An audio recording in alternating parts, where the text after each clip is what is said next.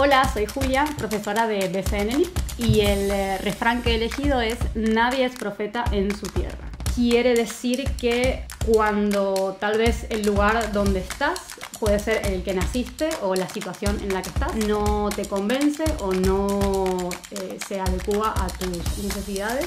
¿por qué no ir a buscarlas eh, en otro lado? Creo que bueno, que me, me, gusta este refrán porque un poco representa eh, mi caso y el de muchos de mis amigos o muchas personas que están en esta ciudad que somos inmigrantes y hemos venido a, bueno, a perseguir nuestros objetivos.